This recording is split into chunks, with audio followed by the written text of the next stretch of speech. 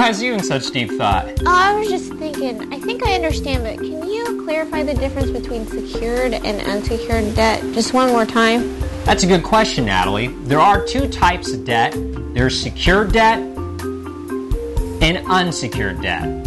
First, let's talk about secured debts. In a secured debt, you pledge a security interest that the creditor can take back if you default on your loan.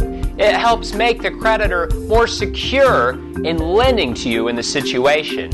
Security interest can be anything like a house, a car, or maybe something else like a washer dryer or some electronics or appliances that they can take back if you default on your loan obligation.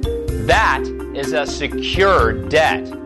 Now let's talk about unsecured debt. An unsecured debt is a debt where no collateral or nothing is pledged for the loan. So if you default on the loan, there's nothing they can take back. There's nothing that they can do to cover the losses.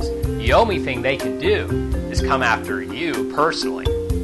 Now, bankruptcy handles both secured and unsecured debts. So if you have problems with either secured or unsecured debts, give our office a call.